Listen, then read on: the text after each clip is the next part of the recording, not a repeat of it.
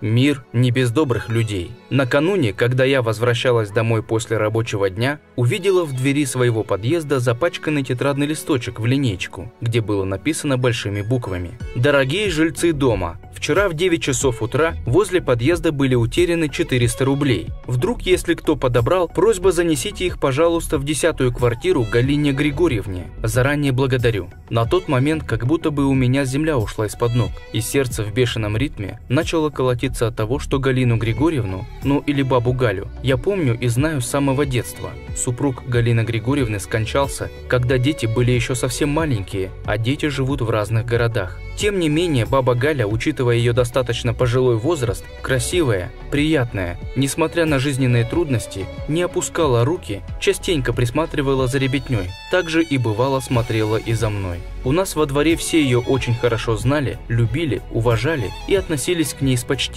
И тут мне пришла идея, а что если я отнесу ей эти 400 рублей, так как для меня это не такая уж и огромная сумма, а для пожилой женщины-пенсионерки это достаточная сумма, на которую она может что-то необходимое приобрести. С такими мыслями я взяла нужную сумму с портмоне и постучалась в квартиру, где жила баба Галя. Внезапно после стука дверь мелкими, но достаточно громкими шагами к двери подошла бабушка и открыла дверь. Увидев, что это Галина Григорьевна, я тут же протянула ей 400 рублей. Внезапно, к моему удивлению, баба Галина начала разводить руками и говорить «Ах, Светочка ты моя Светочка, что вы все делаете, а? На сегодняшний день по счету ты, пожалуй, десятый, кто приносит мне деньги. Баба Галина, возьмите, я вас очень прошу, ведь вы же потеряли их возле нашего подъезда. Я мимо шла, увидела и подняла. Правда, нашла. Света, с повышенным тоном баба Галя. Убери деньги живо, кому я сказала. Давай пойдем вместе чайку с пирожками попьем. Через некоторое время баба Галя провела меня в чистенькую небольшую кухонную комнату и подала мне чашечку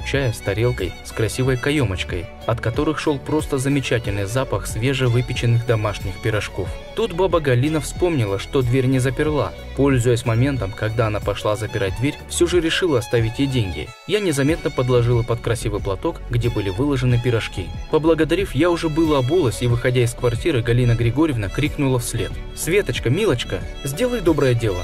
Сними объявление с двери подъезда. То не мое объявление». Смотрю, утром в подъезде висит совсем другое объявление, где написано «Милые соседи, огромная благодарность за вашу помощь. Милости прошу ко мне вечерком на пирог с чаем. Баба Галина».